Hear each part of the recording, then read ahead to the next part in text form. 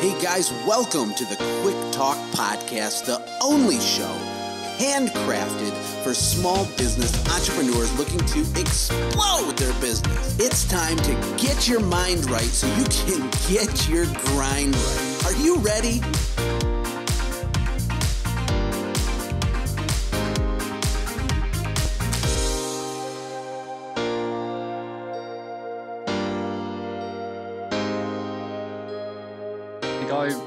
Who, owns IKEA is fifth, fifth wealthiest man in the world, and he still flies economy and drives drives a Volvo. You know, you don't have to draw big bucks because because that means that you've made it. You know, but what you want to do is make sure that the business that you build makes it. Thank you, everybody, for joining me. This is Josh Latimer coming to you from Costa Rica, and I am here today, as you all know, to share you no fluff, straight to the point business insights from super interesting people from all over the world. Now, today is a special show, at least for me, because I get to talk to my friend Perry Tait. Perry's one of those guys that you, you can't get a hold of because he's traveling the world doing crazy stuff all over the place. Originally, I think from Australia. He lives in China now. It, he's the CEO and founder of Future of Cleaning, and he's well, well known in the window cleaning space because you almost can't be in this business and not know who Perry is. But for those of you who don't, uh, he's built a multi million dollar business from almost nothing after moving continents to China. I can't wait to talk to him to get inside his head because he's not just a big personality, he's got a lot of really smart business sense he's going to share with us. Perry, how how are you doing in China? I'm so grateful that you're here with me today. Mate, I'm sensational. It's a it's actually a fascinating place to live.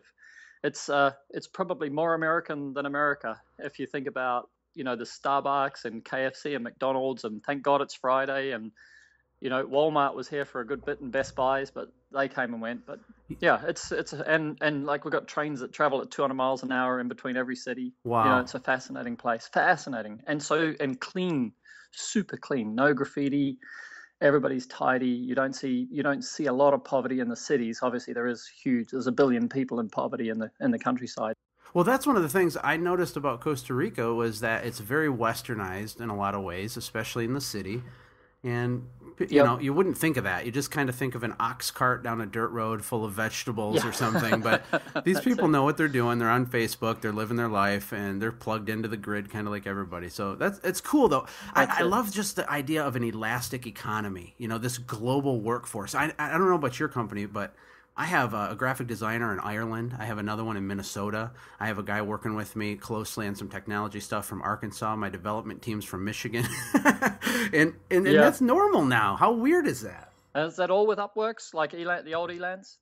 Well, I've used those in the past. None of those particular people are through that particular channel, okay. but those businesses are good because yeah. they're they're connecting you with competent professionals and you know, I, don't want to get too far in the weeds because we're really talking to cleaners today, but there's so much opportunity. there is. There's so much opportunity everywhere. And be, to dive into it first, Perry, I, I want to get some more backstory about you, if you could. Maybe a little bit about your upbringing, how you got to where you are. I know you've been in the cleaning business in Australia for a time, and and but now you're in China. You moved there as a single dad. You built this gigantic, ginormous seven-figure business. It's a super niche industry how the heck did that happen? Can you unpack that a little bit? Unpack it. It's a it's a big package, isn't it? Hey, um, I'll tell you what. Um, I think you know from a personality point of view, then I've always been, you know, sort of uh, uh, prepared to take risk, and I've always been a salesperson. I've studied sales, you know, my whole life. So you know, fe- I feel I'm a professional salesman, and that's my that's my core passion is you know sales and marketing and sales marketing. So um, what happened was I ended up uh, being a single dad. Uh, I think if we go back to maybe the year 2000, 2001, I had a couple of kids that came and lived with me, and then uh, and then I needed to um, be in a position where I could um, support them. And uh, I had a, a, super partner at the time, but that's sort of by the by because um, getting kids and keeping um, partners who don't have kids with you is another story.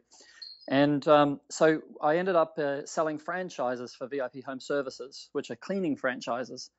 And uh, and so a couple of years into doing that, um, somebody came along to me and said, "Hey, I've seen these uh, water-fed poles in the UK, and they're really interesting. And you know, could we get involved?" And you know, we didn't even sell a window cleaning franchise at that time. It was all just home cleaning, and they sort of took the window cleaning leads as they came in. And so um, I ended up going to the UK, meeting with Craig Morlam, who's really the founder of the pure water technology in the world, and uh, spending a week with Craig and Ruben in Ionix. And I did the British Window Cleaning Academy course in January 2006 with Craig. And he kind of opened my eyes massively, you know, to the potential of the industry. So it kind of went all the way back then. And then I set up, um, we went to a trade show and we spent about 30 grand setting up this amazing stand and had a scissor lift with the, with the door up, you know, 35, 40 feet in the air as high as we could get it and poles and a pure water system that we'd developed and all that. And uh, we got all these inquiries and everybody was fascinated and it was a great display, but nobody wanted to buy it. But what happened is that a whole lot of people came to me and said, "Hey, you know, we don't really think that'll work, but if you want to clean our windows, you know, we'll let you we'll let you go out and do it." So we ended up, you know, not being in the supply business and being in the window cleaning business with with the stock that we had and um, and the system that we designed. We had to become our own customer. Yeah. I mean, that's a pivot right there, right? I mean, yeah. you started in one path and kind of, for survival purposes, kind of swung and actually, so you actually tried to start in the manufacturing equipment business, switched back into the service business, right? Yeah. And we we imported some poles, um, the Xtel poles that was arranged back then. They were fiberglass and hybrid. So we imported them, but nobody would buy them. So we had them sort of mothballed. Um, we'd paid a deposit on them actually and um, so they held them for us. And then uh, and then 2009, Ionics came to Australia, and then they started to get a bit of traction. So we we had uh, oh, it was about 250 poles of different lengths sitting around, and uh, so we sort of got back into selling, and in, in six months we'd sold all of them. And uh, then I realized it was sort of game on, but the design was wrong, so it kind of frustrated me. Um, that uh, that these fixed length poles with internal tubes, and I think the point that really started REACH-IT um, was if you had a 30 foot pole and you wanted to get a 40 foot pole, you'd have to buy another 40 feet instead of just 10. Mm. Do you know what I mean? Yeah. So if somebody had a one, two, three, four, and five story pole, that would be one into a, a six, ten. That's 15 stories worth of poles. Right. But they only want to reach five stories. exactly. And I thought, oh my God, there's something just so wrong with this. Well, I can speak from personal experience on that, actually. I got into the waterfed pole game in my personal business really early. Like, I jumped on it as soon as it was available. And I paid like 2500 bucks for like one pole. Like, it was so expensive in the beginning. Yeah. And, but I made that investment and it was well worth it, by the way.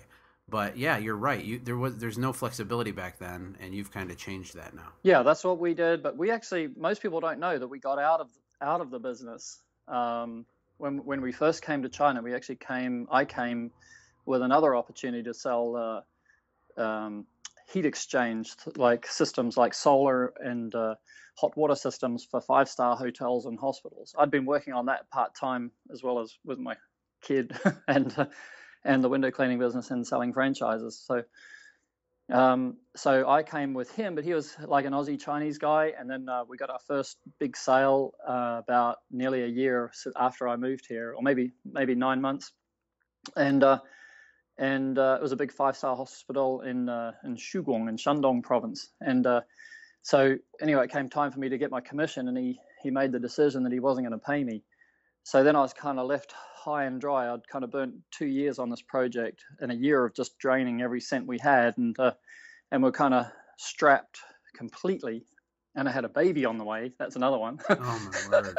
Wow. So I went back to Australia and sold my tool shed and uh, and my last car. Like I had a, a 19, I don't know, it was 1995 old four wheel drive that we used to use on the holidays and stuff and brought back to China ten thousand dollars. And I had my son with me. He was like seventeen at the time, and so he'd already left school and all that. So I said, "Come on, let's go and start a business together." So um, so unbelievable. I mean, there's a lot. There's a lot that you just laid out there. But one thing, the two things I'm taking notes. One, I wrote down the word risk, and then I also wrote down the word. Why do people feel bad for being salespeople? Because in the very beginning, you said you consider yourself a professional salesperson, and and this conversation from here forward it doesn't have to be about specifically window cleaning for right, a while. Right, I want to right. dive into business in general, and yep. people are terrified to take intelligent risk, and they're terrified to be a sales guy. Why do people feel bad for just being excited about the stuff they sell? Why are we so passive? And how big of an effect can it have on our business if we change that thinking, Perry? Um, my personal belief on that, because I have thought at, at, at, great length about that, because obviously when I tell people I'm a salesman, I get treated with the stigma of that, and um, and I kind of beat my chest, and I'm quite proud that I understand. I think I understand it, and I think it's whether you know yourself. So if you trust yourself, then you're trustworthy and you're solid and I think that um, I'm I'm highly trained. I've done you know three times the Tom Hopkins boot camp and all the Zig Ziglar stuff, and you know all the stuff from from from the guys who really pushed out sales technique. And I ultimately concluded that the difference between a professional salesman and a con man is not the technique; it's his own integrity. That makes a lot of sense. And why do why do service businesses? It's almost like sometimes they feel bad for trying to sell that thousand dollar package to that homeowner, or they feel guilty for being successful for some reason and rather than looking at it as them serving the client because if you sell a water-fed pole to someone perry and you're rah rah and you're and you're excited about it you're helping them. I mean you're meeting a need you're scratching an itch. And that's really what all integrity filled businesses are doing is we're meeting the needs of our customers. We don't need to feel bad to sell the stuff that we have. But maybe they've never put themselves in their customers' shoe to really be able to articulate what it is that they are doing it for doing for them. Like, for example, you know, I would like to clean your windows because, you know, you go to work and do what you love doing. Hopefully, you love your job, right? And you make enough money to bring home some money that you pay me to do the things you don't want to do. You know, mm-hmm. I really like that. I didn't say it as beautifully as I can, but it's that basic pitch is to say, you know, I'm here to give you your weekends back. Yes. I'm here to stop you climbing on your roof and taking the risk of killing yourself or being injured. That's what I'm here for, you know. Yep. So so you give me that money and and and then you know what I do? I give some of that money to somebody else to do stuff that I don't like doing. I hate mowing my lawn, so I got a lawn mowing guy. You know. Yeah. So once you point. get that what you're doing is is helping somebody else, you're not just jagging them, you know, because you you clean their windows. You're actually giving them clarity you're giving them their view which they paid for you know when they bought their property or whatever it is or a sense of cleanliness and hygiene for the for the mum who's you know at home all the time you know there's Absolutely. so many things that you're giving to that person and when you believe in that and you know that you're in, you know yourself that you're completely um, you, know, you have a sense of integrity about you know what you're doing and how you use your money and you know what I mean then you're part of the community and that's your that's your function Absolutely. Then you should it, then you should be able to sell with conviction and upsell. Like upselling is everything, by the way. Like that's certainly since Groupons and stuff like that. I mean, you know, upselling is is is what it's all about. The the initial price is often you know quite low in the service industry to to be able to win the to win your way in front of the people. You know. Mm-hmm. Yep. There's a lot of good in what you said, and if we view ourselves as providing a service to scratch an itch. That's an analogy I like to use a lot, but really it's an emotional connection. This can sound cheesy, but if you think about it, it's absolutely true. When you clean someone's carpets or you clean their windows, you literally create an emotional trigger in people. They feel happy and good. They feel relieved because they couldn't even do that themselves, and you, and you're providing that service. And for an attorney who makes $200 an hour, he's not going to come home and spend 12 hours trying to clean his own stuff when you can do it in 2 hours for 100 bucks, right? So the point is is we need to be confident in what we're doing. Yeah. And, and feel good about what we're doing as long as we really are doing right by people. Yeah, that's it. And the yeah. value the beauty is in the eyes of the holder, The value is in the eyes of the customer, you know. Like one yeah. of the things I, I had a friend who was doing the, the Google AdWords for for a carpet cleaning chain in Australia, and what he worked out was uh, that basically words like quality and experience and professional worked in the AB demographics, you know, the, the higher higher paid demographic areas, and then words like you know cheap and fast and you know good kind of you know words like that worked in the lower the CD demographics. So you know the other one is to try and understand that you know where the customers at and what's important to them and then you know have an offer for them which meets what where they're at you know as you get to understand them. Well let's talk about risk for a minute because I know buying equipment is risky. I took my business period. You, you, I don't think you know my background, but I started a company with really nothing. I mean, I had a ladder strapped to the roof of a Chevy Cavalier, which is this tiny little crappy car, right? Right. And you know, through trial and error, through being mentored by people that cared about me, and through you know learning from from people who have done it before me, we I grew a really nice sized business. And one of the things I learned early on was that investing in my education, investing in equipment, investing in systems is super critical, it, but it hurts when you do it. Like there's pain involved. I remember when I bought my first water pole, it it it was like that knot in your stomach kind of feeling. How how do people understand if they're making a good buy on something? Not just water poles, but in general, how do we take that risk to prop ourselves up to be able to go to that next level in our business? How do we how do we know what's right? Oh, it's a it's a huge question, isn't it? I think that the I mean, the, the, the, real answer sits in ROI, like the term return on investment. You know, that's that's where the, the real answer is. So you've got to be able to think about, you know, how that how that thing's going to work for you. And uh, and uh, you know, I'm very passionate about the 80-20 rule. There's some there's some great material out there that you know the 80-20 rule is really the founding rule of all business. You know, you make all of your decisions based around you know what what matches 80% of the work that you're doing so if you can find a tool that'll leverage 80% of your work and then you've got to deal with the 20%, then that 20% should be dealt with as an exception so that you're going to get return on investment on your 80% on uh, you know because you're going to use it 80% of the time. And that's one of those bugbears that I always had was water-fed poles when they're a seven, a six-story water-fed pole. You know, somebody could pay two and a half grand for it, whatever we did back then. You know, mm-hmm. and but it was only a six-story pole, but only one sixth of that building is six stories you know, one sixth of it you can reach without a pole at all. Like it's ground level. Mm-hmm. Do you know what I mean? So being able to understand what what 80% of your carpets are, what 80% of your windows are, what 80% of the surfaces that you clean are, and then buy your equipment to match that. And then if you're lucky, you'll have a product that'll be able to be um, that'll be able to be adjusted to to to cater for the 20%. You know, that's that's how we've designed the REACH-IT poles, but but it may not always apply to carpet cleaning or other things. You might need to go down to, to a higher place and hire the equipment that'll do that 20% of work that's not not your core business. Right. Well, that makes a lot of sense. And this plays into a good one of the things I teach in my business systems courses, Perry, is you need to build business systems around the the general rule, not the exception. Mm. People get hung up on the on that. Well, but what if this happens? Well, who cares if that happens? Or what what about on the second Tuesday of the month if if I have this scenario? Who gives a crap about the second Tuesday of the month? Exactly. Like every like we get it we get it with the poles. Every guy wants the longest pole. You know. Well, that's kind of, kind of metaphoric. Is that a coincidence? as long as you get told you've got the longest pole, you're fine. But oh, that's funny.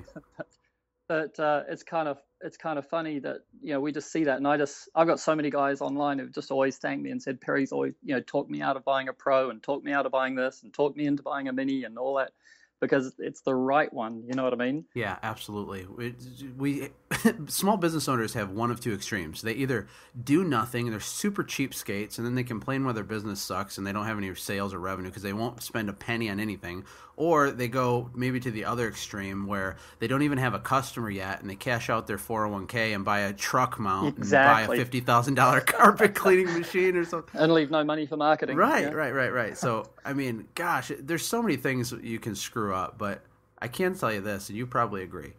If you just don't quit and you stick with it, I mean, you don't have to be perfect at this stuff to succeed, but people kind of quit the band before it gets a record deal sometimes. They don't stick with their business long enough to come out the other side and really have that success. Sure. And I think that there's a there's a key part of that and that's to make sure that your overheads are as low as possible for as long as possible. I think that's 100% you know what makes or breaks a business. People are better to keep their full-time job and you know, in, in, in the states, there's a lot of guys who are window cleaners who are um, who are firemen, you know, or were firemen, and uh, and that makes just complete sense. Keep that fire job, you know, fireman job for as long as possible, and build the business up to the point that it can that you don't have to draw from it, so you can reinvest your money into it, get it up to a critical mass of money and turnover that you can draw from it what you need. But for as long as possible draw as little little as possible from it and and work it from home and use a secondhand vehicle and you know put a bit of a wrap on it so it looks prettier than what it actually does or whatever but just keep everything no leases no no commitments into the future with the money that you that you know you're going to earn Yep.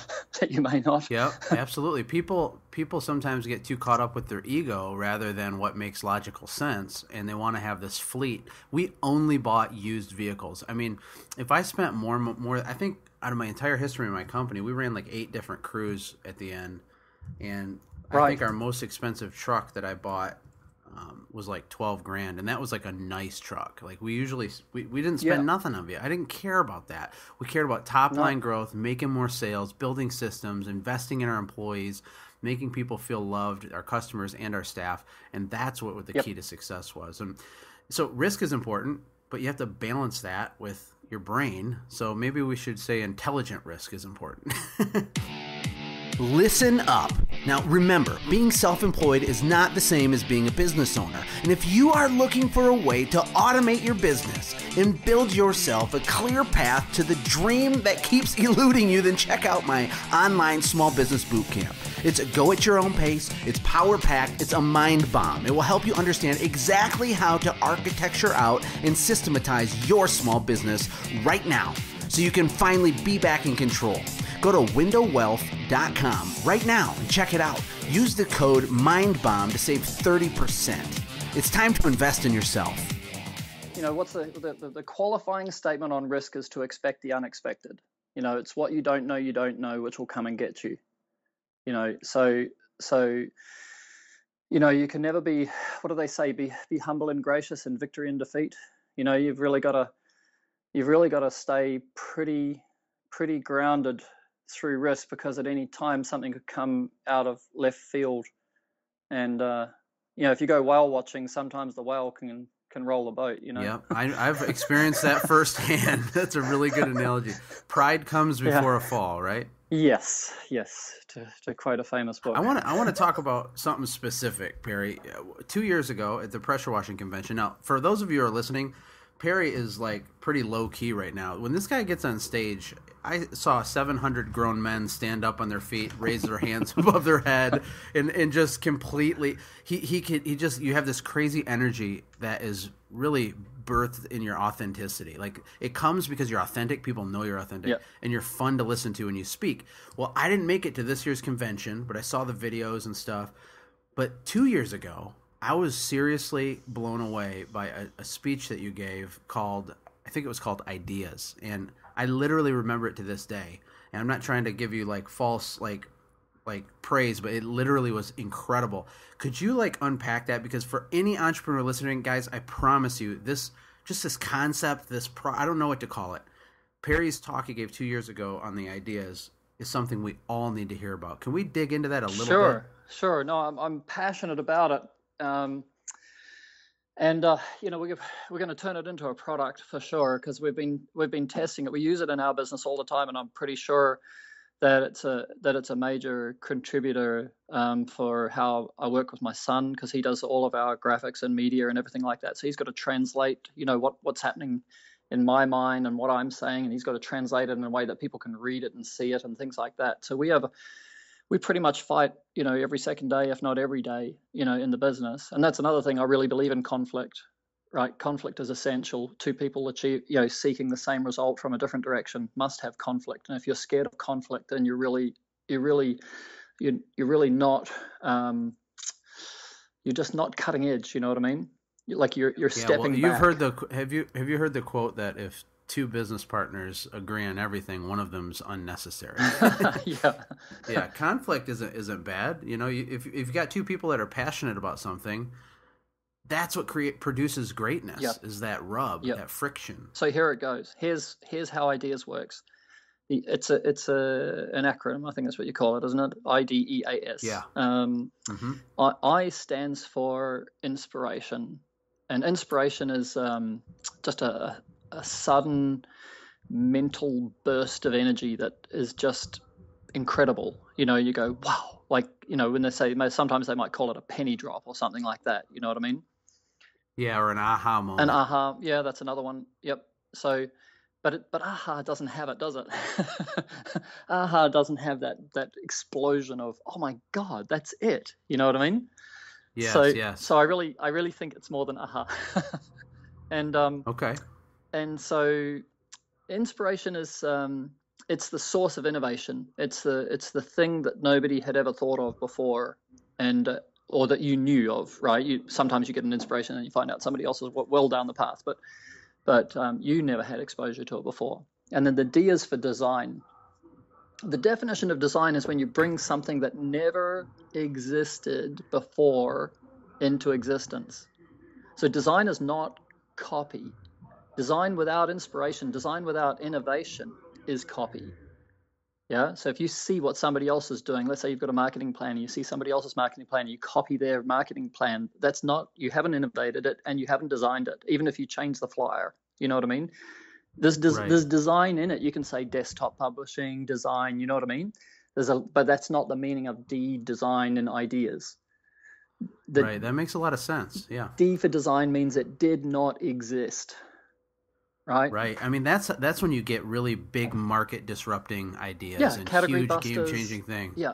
Yes. It's it's uh it, you change the you know when they say game changer that means somebody designed something yeah so it's really important to understand that design is really revolutionary where you're you're you're you're able to um, sort of work on this this mental explosion this mental spark this mental um, uh, epiphany you know something happened to you where you go i've got it. Like this is how my business is going to work or this is this is this is what i'm not doing or, or you know look at the right. look at this inefficiency. If i could do this like how much faster i'd be yeah like that. To be to be clear too to be clear design doesn't have to do with you know a physical product. Like this this could be the architecture of your business itself the way Completely. that you engage customers. Anything that sets you apart is unique fresh brand new and from your own brain. Is correct. that, is that what you mean? Yep. And okay. and and and the and the defining point is it did not exist and then it does. That means you've designed it right? It's not right. it's not executed yet but it's but it means that that you're bringing something into existence yeah so yes. then execute is e e for execute and execute is pretty easy, but most people um, get design and execute mixed up, and and so will you, and so will I. You know, because sometimes you you're not you're kind of mixing the two of them together. But execute is the person or the hat that you're wearing when you're saying, "How am I going to do this?" Yeah. So that's the yes. that's the the basic element. Well, we should actually put a pin in this E for a minute because execution is the number one reason people don't grow their business. They don't automate their business. It's the reason they stay trapped in their business. It's the problem for so many things, not just business, relationships. Like we talk a lot, we learn a lot. Yeah. We're perpetual podcast listeners, Perry. We we read every blog, we go to every yeah. forum. We we consume only. We never create, execute. We don't we don't make it happen into the world. Yep and and oh, can I just take two seconds? I want to tell you uh, something that drives me crazy. So I'm walking in a store with a friend of mine, and we see this product for sale, and the product's for sale, and my friend of mine says, "Ah, oh, I thought of that 20 years ago," and I looked at him, and I had this epiphany because my friend in his brain actually thinks that he's on the same level as the guy who has that product in existence in the store. And this is a huge mistake people make, right? He's like, "Oh, I thought of that. That's the same thing." Like like he's mm. just as good for thinking of it only, which is only the inspiration part, right? He never did anything else with it. Execution is everything. everything. The other guy, you know, invested his money, got a prototype, hired an engineer to draw a CAD drawing, got a patent filed, you know, went to 17 sales meetings with Walmart where they made fun of his product, went to another one with Target and finally got that, and now it's distributed in the store, and, and he's finally getting a win. And after all that labor and that execution for years, my friend thinks he's the same as that guy. exactly. Like, it, I've got, it drives me crazy. Those, there's one of those in my life right now. There's a Unger has just bought out a new product called Stingray. It's a triangular brush for internal window cleaning, and I can show you a video that I made in January 2014. and It's now what November 2015 of me with my prototype of exactly the same brush, right, which I shared privately with my guys who have signed confidentiality agreements. And I said to them, "This is what I'm thinking of doing." So now that it's all in the open, you know, I said I put the video out there, and then one guy one guy wrote to me said, "So Perry, are you saying that you thought of it first? And I said, "It's irrelevant who thought of it. Maybe a hundred people thought of it. The question is, who mm-hmm. did it? Unger did it, right? Kudos Absolutely. to them. They got it off the ground. Do you there know what I mean? Go. You got to move. You got to move. You got to execute, man. And as a business owner, small, big, or medium, or everything in between, sometimes guys want to be the quarterback. They want all the glory. They want to do everything themselves. And you need to be more the coach. Yep. You need to be the guy that builds the team. You're the cheerleader for your team. You're leading the charge. You're putting the things in place, and you're getting it done. And I, I don't know. I just think the E in idea. Well, here are, just here are the questions that give you E what, where, why, when, how. The answers to those questions tell you execution. What am I going to do? What's it going to look like? Where am I going to market it? Where is it? Uh, where am I going to make it? Why does it mean anything to anybody? You know what I mean? Like what, where, why, when, how. Those are those are the execute questions. You write down as many what, where, why, when, how questions you can, and you start to start to get the execution, and then you do that execution. Yeah. But you can Yes, absolutely. execution can be this here's here's the, the the the beauty of this ideas. is you execution you can be in execution and not executing so you can design execution but you're still in e right because the, the actual final part is when it gets out into the marketplace so but you've got to know how you're going to execute if you're ever going to pull it off the ground right Right. so so you've got to plan execution, you know, just sort of run out there and try and do something you haven't thought about. Then the A, Mhm, mhm. the A is for associates. Associates is like who can support me in this idea? Like it might be for distribution, it might be for staffing, whatever it is. And, and I have another It's your team. it's your team. That, exactly, you got it. Because the acronym that I have for for for for, for A is called FAST, which is F A S T, flow, alignment, synchronicity, and team. Right.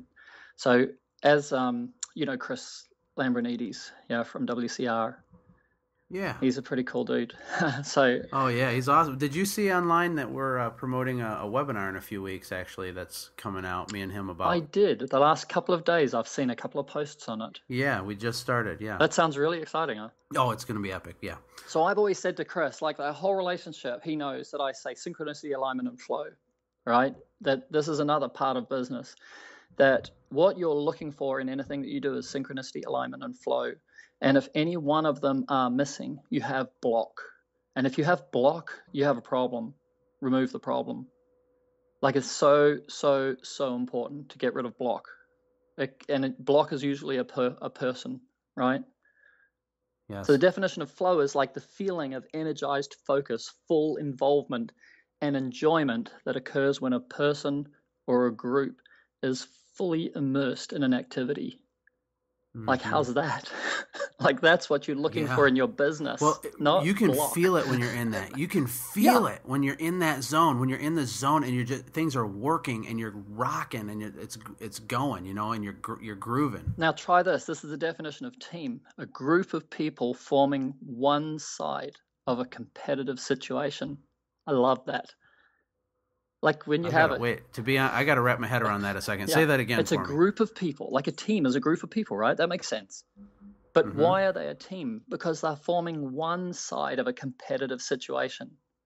Now, what we the that that means that you're in it together, heading in one direction, and there's other things that are that are not going in that direction. Doesn't have to be another That's another true. team of people, but you're a team. Like you're out there. Like when Google started or Facebook started, they didn't have like anything coming at them from the other side, but they were heading in in Well, they still had adversity. Oh, they I definitely mean, had- adversity and gen- maybe not a competitor, but they had technological Mm. hurdles. They they literally had to invent stuff that didn't exist just so their thing could work. Yes, yes, and it was competitive in the sense that there was, there was another search engine. I can't even remember it now. My goodness, there, there was one before Google.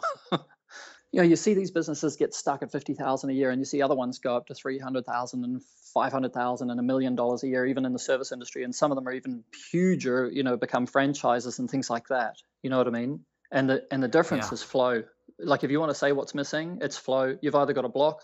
If you've got a block, you're going to stay the same. If you've got flow, you'll grow. And it's in it's nature for the human experience. You know, it's nature for water to flow. It's nature for people to grow. Yeah, and even it can be a mental thing, right? I mean, I talk to a lot of people, Perry, and uh, I talked to a guy today from Texas, and it's like sometimes people can't really believe in their heart that making more than a hundred thousand a year is possible cleaning something that's dirty. It's like for whatever reason, their background, their childhood, Yep. they have this presupposition that's hard coded inside their brain. What their value is. Where they absolutely and getting them to understand that that's completely fake. It doesn't even exist. It's it's a figment of their imagination. And I'm not min- minimizing it because I know what that feels like in my own life. Mm-hmm. It's very very powerful. It's a powerful emotion.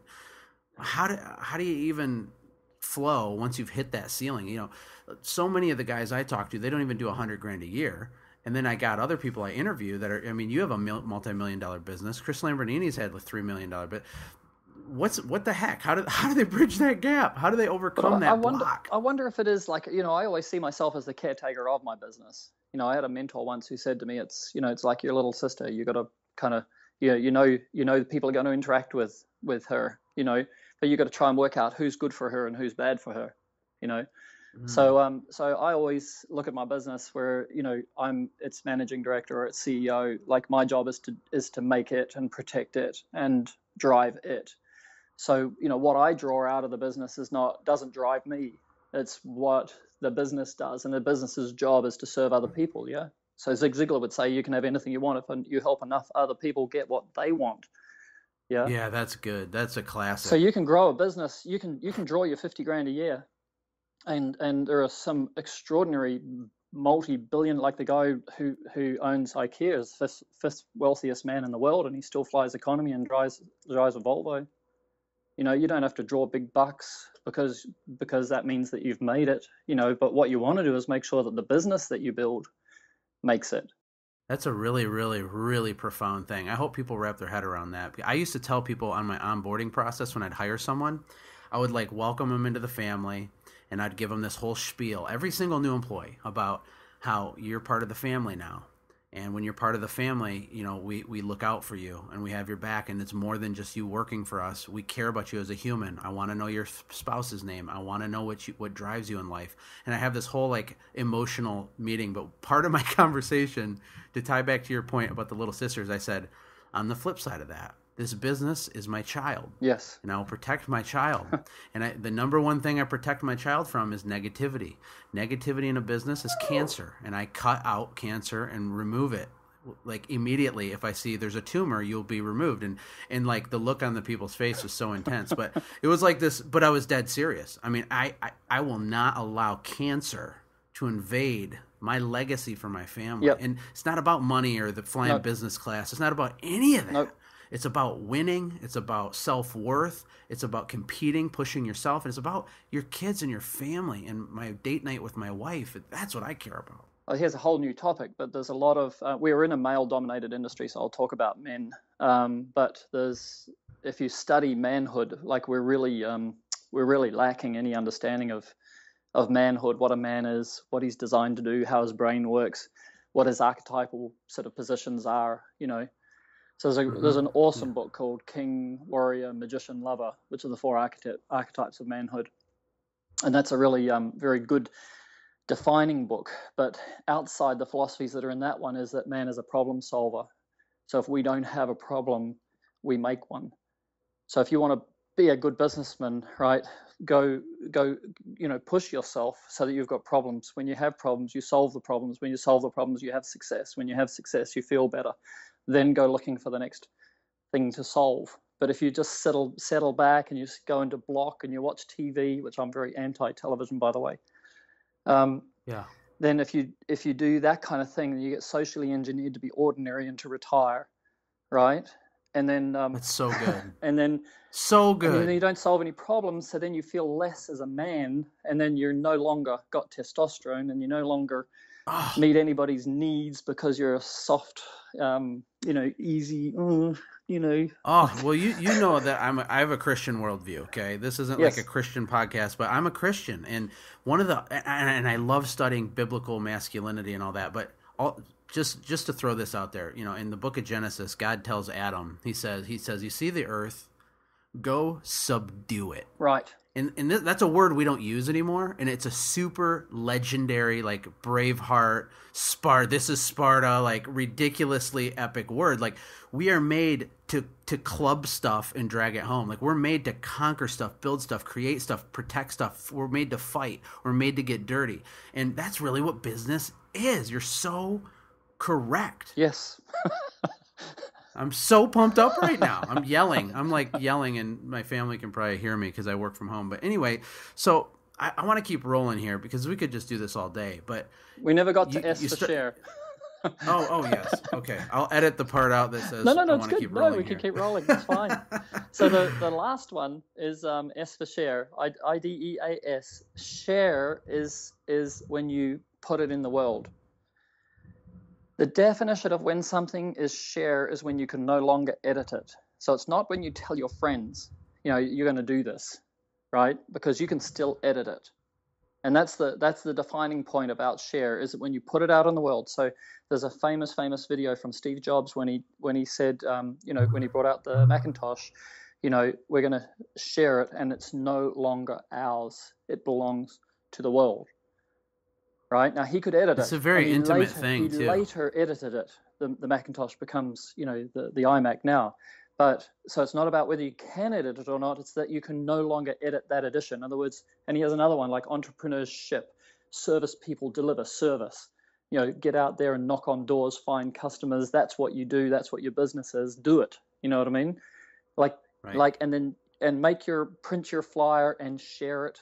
You can't edit it if you want to make another flyer for the next season or the next service or whatever it is, you can make a new flyer. But, but the point at which you share an idea for marketing or you share an idea for a product, that's when you actually put it out there into the public where the public give you the feedback whether it's a good idea or bad idea you know from their perspective yes you know it's a very personal thing and that's it's very scary like risk. oh that's the definition of risk Absolutely. when you're prepared to put everything that you have innovate design ex- execute, you know, plan execution, and then you know be prepared to deliver execution. Find the people around you who are going to help you do it, and then the time where you need what it takes, the kahunas, right, is when you go to share because that's the day where you face judgment, and that's what people are scared of.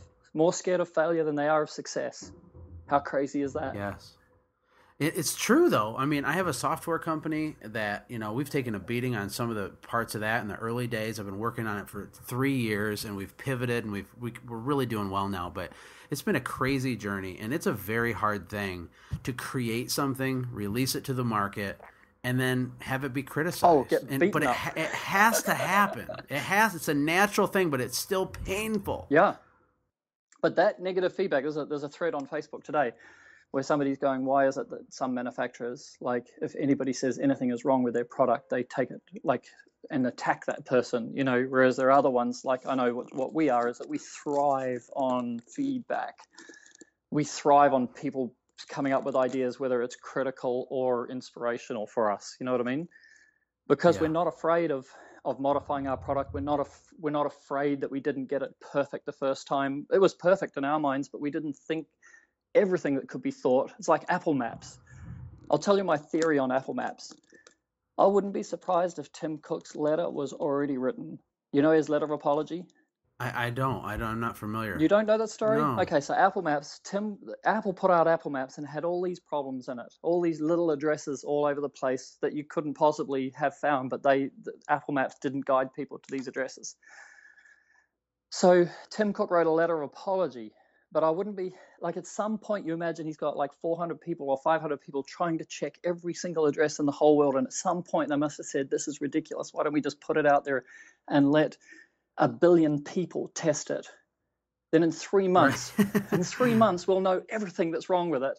And here's the letter of apology because it's not quite fair. It's not quite what they expected from us, Apple, but it's the only way to get it perfect. Wow, that's a really good insight, and that I don't know totally if it's true applies not, by to. the way. It's just my that's how I work, you know. Like so, it kind of rings true to me.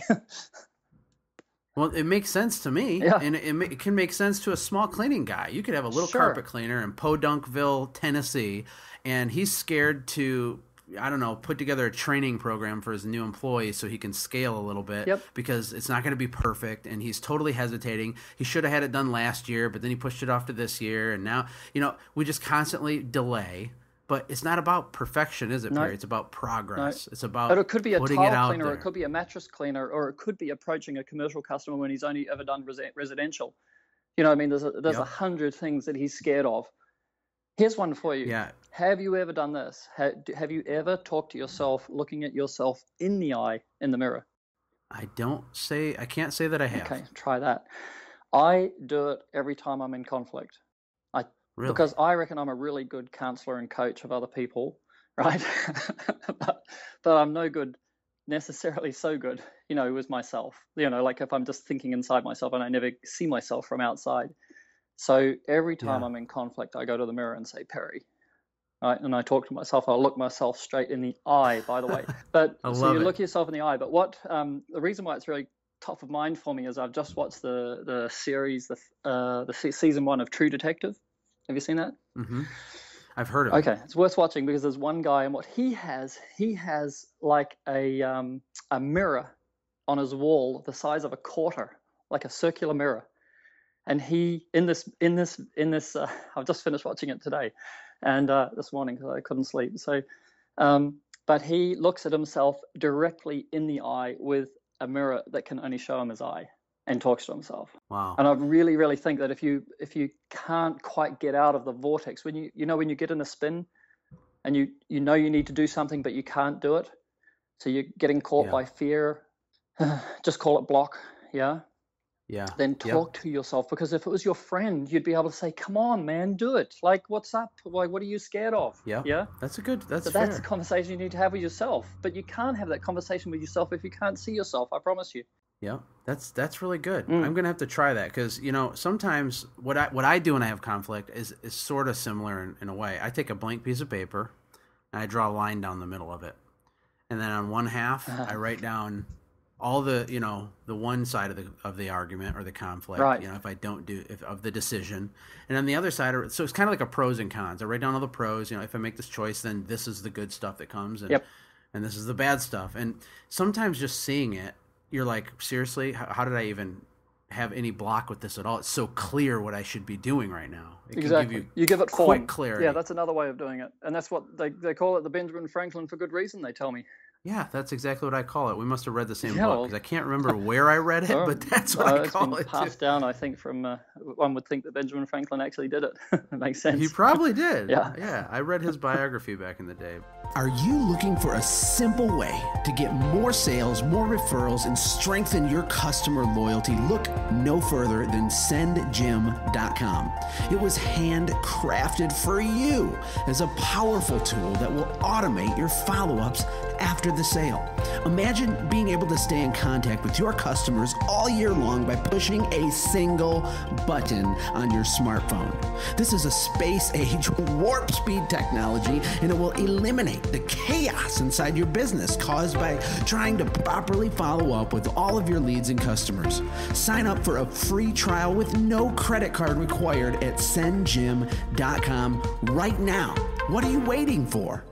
Perry, you know the uh, the webinar that I have coming out in a couple three weeks or so with Chris Lambrinides, who I know you've known for a long time, and Yep, yep. um, Good friend of mine. we spent a lot of time making this thing, man. And and the focus of it is, you know, how to automate, grow, and then set your business up so that it could be sold at some point. I mean, not that you have to sell it, but to build it in such a way that you create an actual asset. And and Sure. there's going to be Sure. a ton of window Sure. cleaners, you know, on that uh, webinar. And as we're going through this interview here, talking about ideas, you know, I don't want to put you on the spot with that, but we should do some sort of a webinar just on that because people have so many blocks. They can't get clarity. They don't know what the next step is.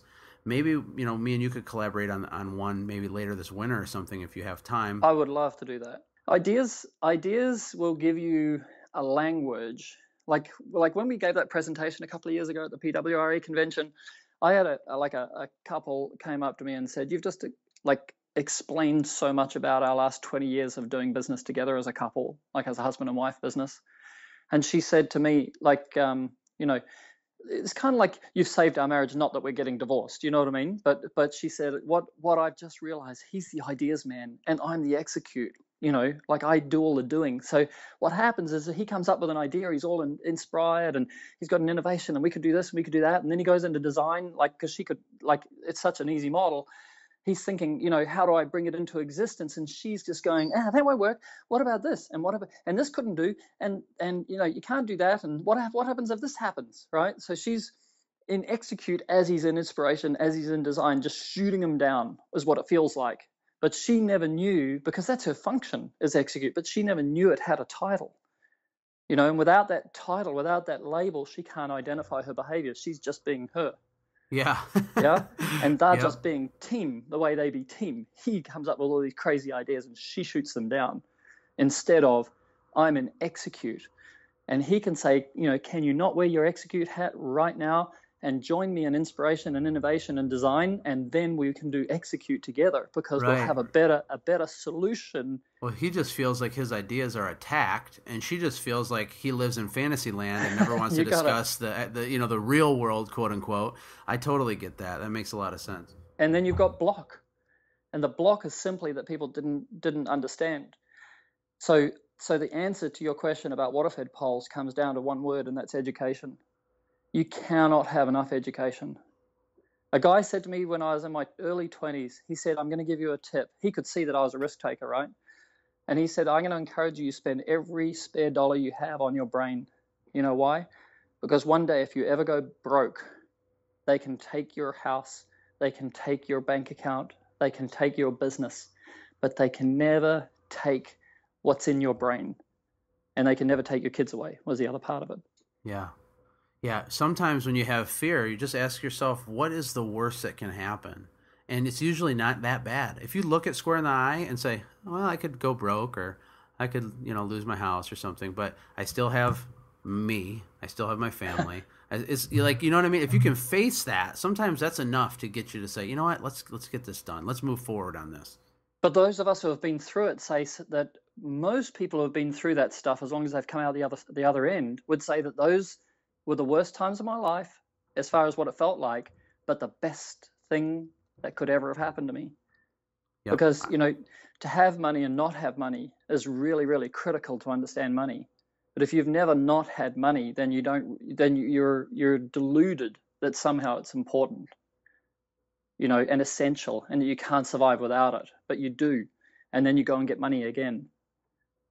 Yeah. You know, money's flowing all the time. It's moving every, every like like the wind, you know. So you just got to put your hand out and grab a bit or just breathe in, you know, it's there.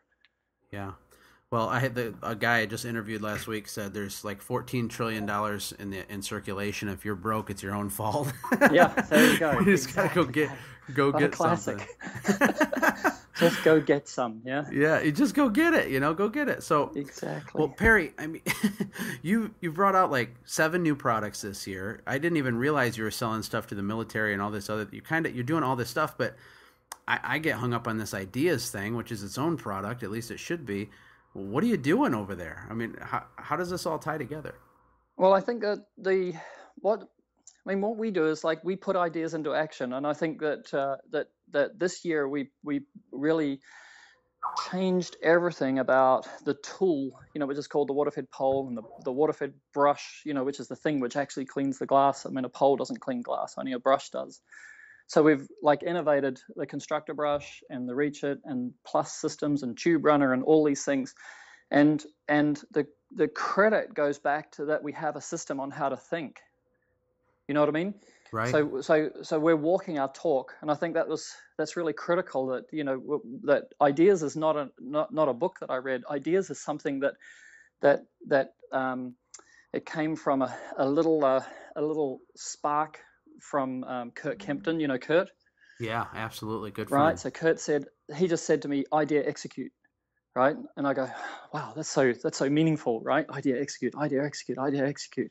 Like that, and it sort of came that ultimately the acronym of you know the idea and the execute were, the letter I and the letter E, and then I started to understand you know like and it comes to you like this kind of thing. So I think with Reach It and Constructor Brush, you know we're really like pushing the line of the 80-20 rule efficiency, and then you know allowing an innovation, an idea, allowing a mental spark to happen, and then being able we've, we've got a machine or a mechanism in our business where we're able to manifest it like rapidly as as we become uh, uh, get a conviction, I suppose is a better way to say it. You know, become more certain, more determined. But we don't wait like two years to be determined. We we're either immediately convinced, you know, and then we start putting all the all the machinery into place to make it happen. Wow. So it's kind of like I, I, feel we're walking the talk, and I feel that's why ideas can be a product, you know, because we're we're we're we're an example of it, and people can look to us a little bit and say, well, you know, these are simple things, but he's doing it, yeah. It, that's that's what it's all about, and people are hungry for content. Like I have an information product business myself. I sell uh, a course called Window Wealth. I have an online small business boot camp, and yep. people need content now the one thing that bothers me about selling my content is that a large portion of the people don't execute on it.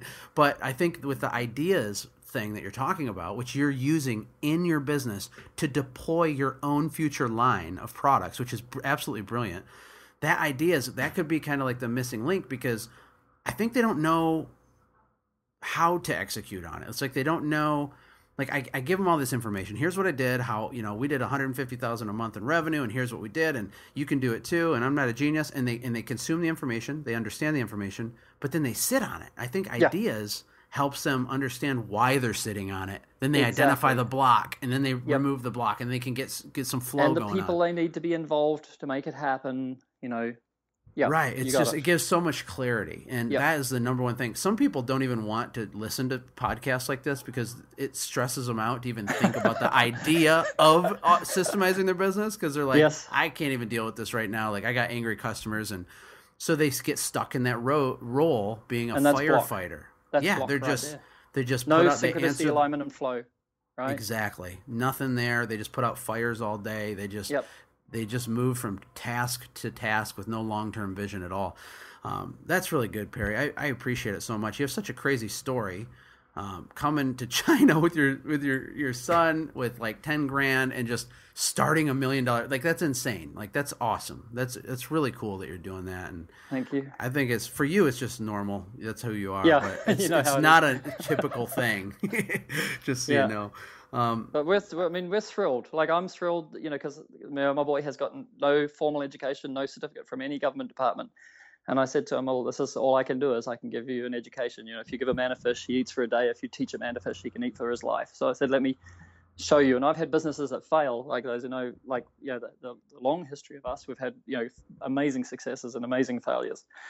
And, um, you know, but to have this one and be able to touch it with him and give him enormous amount of responsibility. We've never put anybody over him. He's run all the websites and the videos and everything.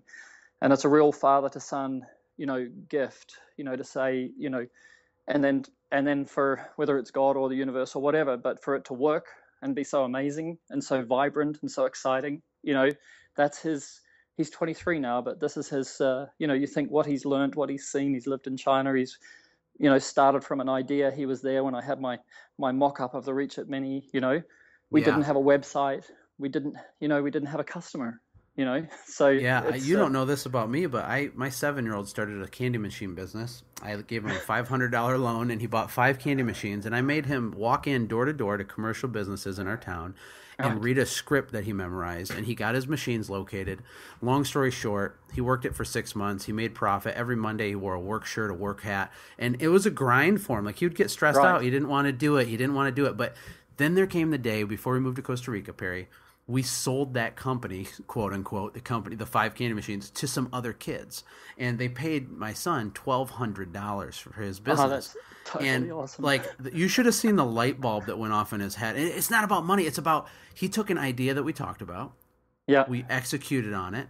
He yep. worked it, and then he sold a business. The, you can never take that away from him. Like the the confidence, the inspiration. Like now he's just an idea factory with all these yeah. these ideas, and that's what you're doing with your son too. Any parent out there listening to this is absolutely yeah. going to relate. What a gift! And watch out, watch out for the idea factory, because the idea factory is good, but only that's why you need a mentor. That's why the son needs the father, right?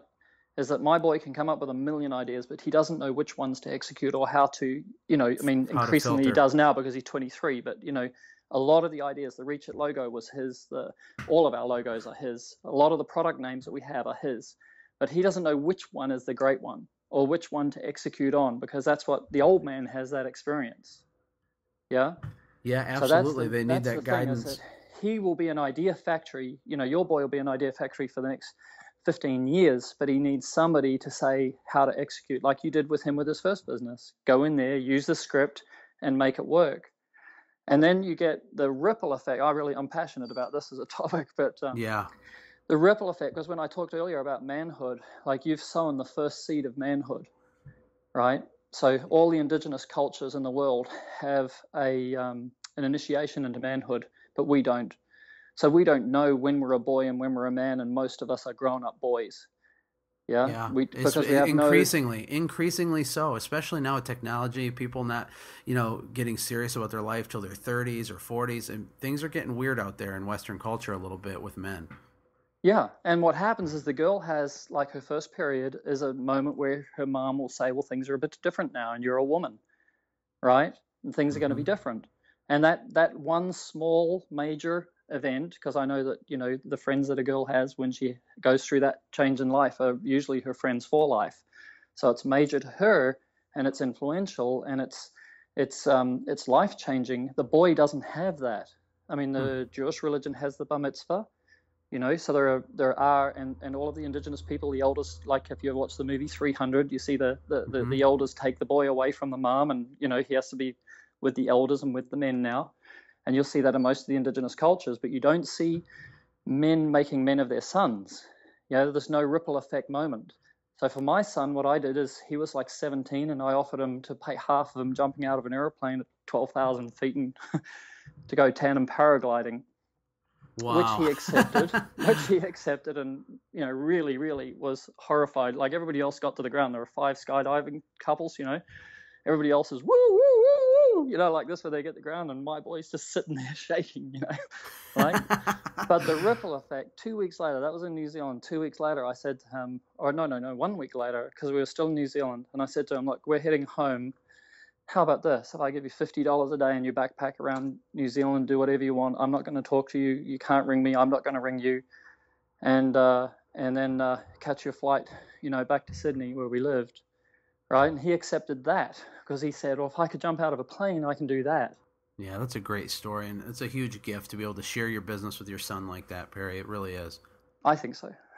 Well, Perry, you know, obviously you believe in educating yourself. You mentioned that you went through all the Ziglar stuff, which is like world class, and all these other sales trainings. Your son, I mean, do you ever do you, do you send him to stuff like that? I mean, I, for me, business education, not formal education, but business, real world, manly, epic education is so critical. Uh, How important is that to you guys inside? I believe I believe anything which if you pay for any accelerated education, anything which is non-government, not that I bag out government education, but it's but it's it's it's rote. You know what I mean? So if Yep. somebody's going to run a program like uh, like Harrison's just been to Singapore for uh, Landmark Forum, which is a real life-changing, um, um, enabling program. It's only three days, but they're three hell of a days, and uh, so and then he listens to podcasts all the time. He listens to Tim Ferriss, Joe Rogan. Um, he's always coming to me every day. He's telling me, you know, what he's listened to a podcast, and so he's like, he's he's a consumer at in his early twenties, but you know what he's picking up is the wisdom of the ages, you know, being crystallized by guys who are who are just chatting. You know what I mean? Right. Well, we have access with technology now. Like like I mentioned earlier with our webinar, we can bring together huge masses of people and education flows so quickly and easily and it's you, there's so much free information. Sometimes it's just overload, but guys listening to this, you got to educate yourself. You have to Yeah. learn. You don't have to reinvent the wheel with with the systems of your business. You just have to know what to do. And, And that's it's, really it is so much. Isn't it easy just to be able to tap into what other people have done and then get that get that get that as your seed? Yeah. Well, that There's what I did. That's yeah. what I did. I didn't blaze some new trail or something, and and, and Chris didn't either. What happens is you kind of find your way by eventually falling into line with the way that things work for people that have been there before. And with our with our webinar, that's the point of it is trying to help people understand where to start, what to do. It's not about the money. It's not about ego. It's about having time to pick your kids up from the bus, being able to go on date night with your wife. That's what business automation is to me. It's not about the systems are boring, right? But what it produces is peace and stability and growth inside your company. And I, I'm I just come alive when I talk about that. You probably can't tell, but that's the whole point of this podcast is to help yeah. push people in that direction. So I'm pumped about it. So you've got the webinar. What's it called? Uh, it's called the Epic Webinar. It's actually three webinars spread apart um, one week each. So there's one, and there's part two, part three, and it's it's automate, grow, sell. How to automate, grow, and eventually sell your company, or you know, awesome. build a company that could be sold. And target market, like who are you aiming at? I know like window cleaners would be one, but who else? Yeah, I mean it's for any service business, um, but we're heavily, you know, marketing the webinar to window cleaners just because I know that space. I, am in that business. Yeah. That's kind yeah, of where yeah, I made my initial mark. But it wouldn't make any difference, like to any other business, right? Like any no. service-based business, the rules will be the same. The exactly. it's just, uh, oh, there goes another saying. Like I am not my product. Like I am not yep. a window or a window cleaning. Like you know what I mean? I am exactly. Me. So, so the same logic, same wisdom, the same. It's the same um, framework. I call it the architecture. Yeah, everything. Yeah, yeah I call it. The, yeah, it's it's right. identical. You could have a pest control business you could have whatever but the bottom line is is there's certain core things that need to be in place. And we're hoping to have hundreds of people on this thing Perry, well I saw, because... I saw you guys put out like a couple of um, like little posts you know maybe only two days ago is the first time i saw it. Like how are you going to get the word out? Like like what's your what's your execute? How you well yeah.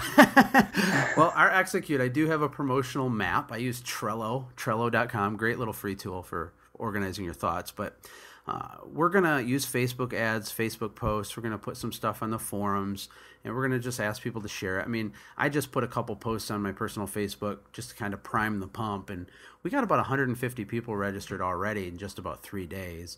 Uh, our goal is, you know, I, I, think we'll probably have somewhere around 700 people, is what I'm, I'm hoping.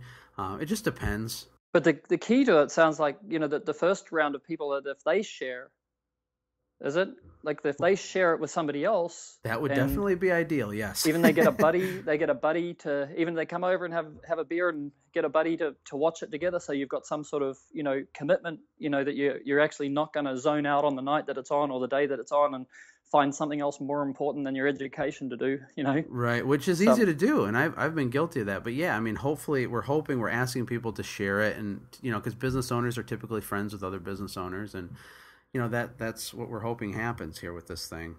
Well, what if what if what if we did something like this? What if what if we put something up like a like a whoever shares it the most like gets a prize or something like that? Would that work? Yeah, I mean, you mean like with with uh with your well, like, like a product, like like let's say let's say I put up um I don't know, like something like a REACH-IT Mini or something like that, and you go because what you need is just like you need it to go viral, right? Because it's worthwhile. Everybody's going to win. There are no losers by go, by watching a webinar.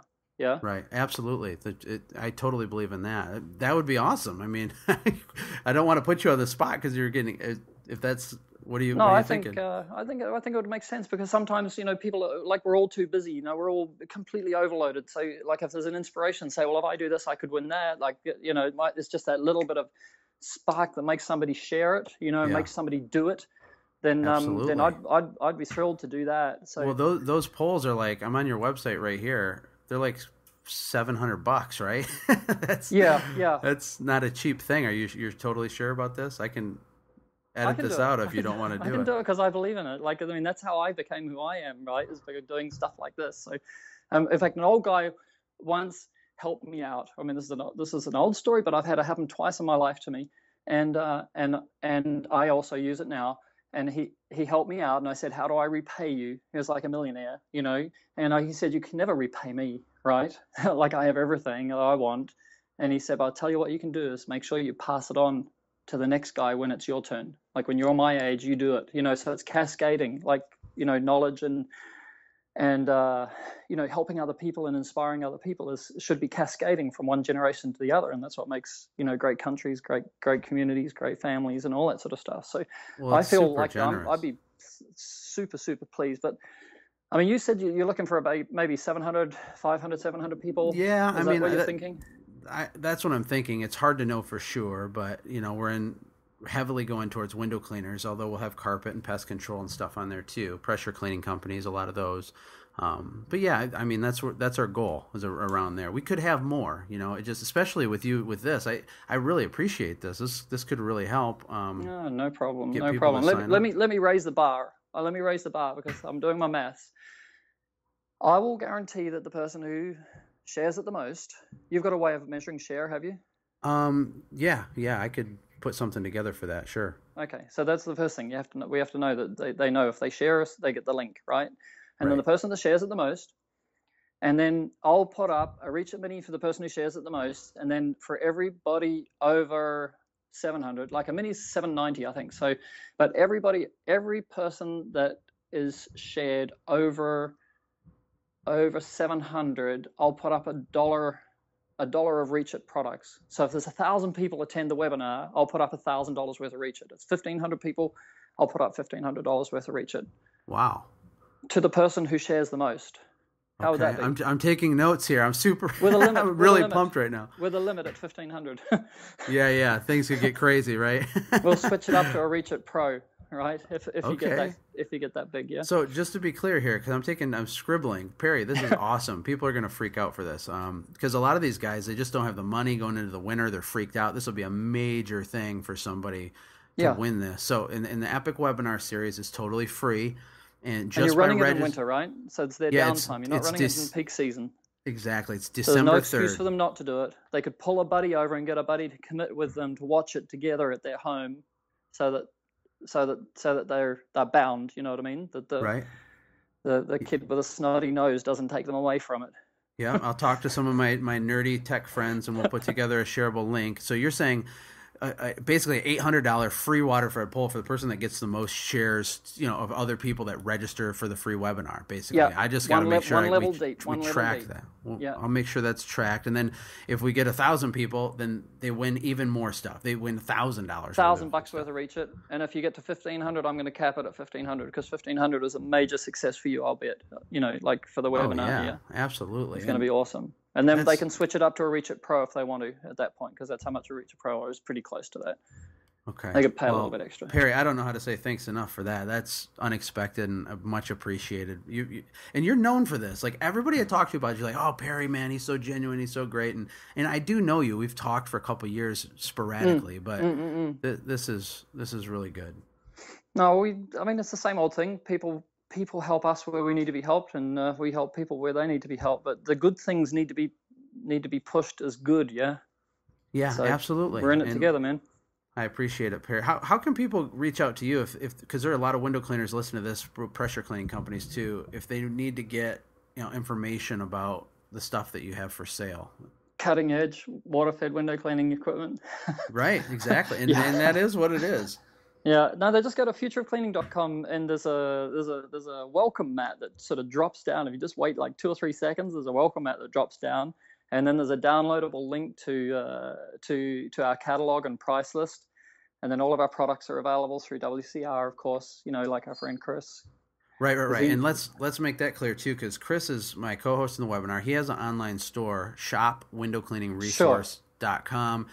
All of Perry's stuff is in that store, and that you know yes. that's where you got to get it is from from uh, someone that sells it. So go to Shop Window Cleaning Resource for the poles. If you want to get a product manual, go to futureofcleaning.com. Wait three seconds, and your screen will change, and you'll get a pop up, a drop down that lets you put your email in. I'm on there right now. Yes, I and see it, And it is an awesome catalog. We even have a print version. It's concertina. It's like uh, 24 pages. Concertina's out, right? So it's okay. about I don't know six feet wide.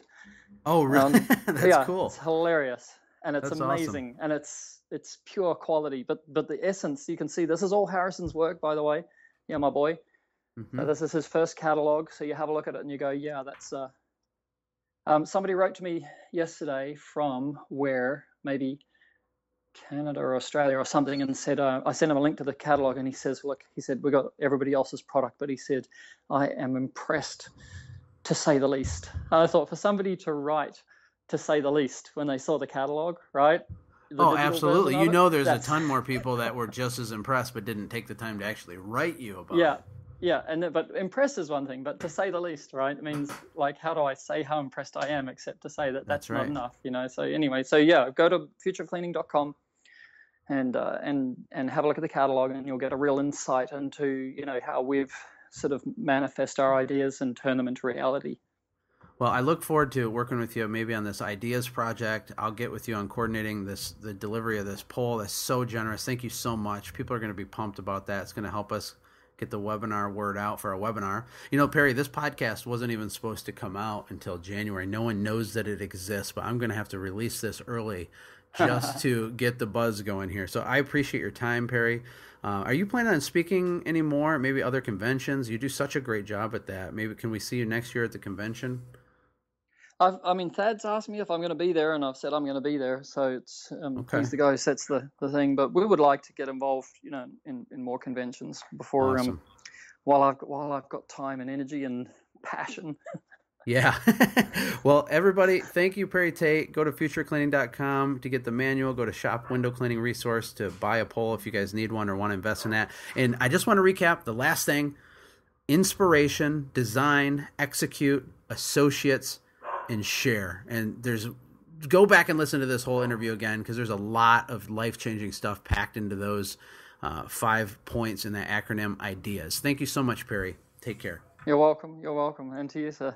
Hey, thanks for hanging out, friends. And from all of us here at the Quick Talk Podcast team, we hope you loved today's show. We hope that you were inspired to become a doer and not just a listener. Apply what you've heard today in your own business and watch things change for the better. Lastly, remember that all the money in the world can't save your soul. Seek first the kingdom of God, my friends. We'll see you next time. For more information about the Quick Talk podcast or Joshua's other businesses, visit our website, quicktalkpodcast.com. Have a blessed day.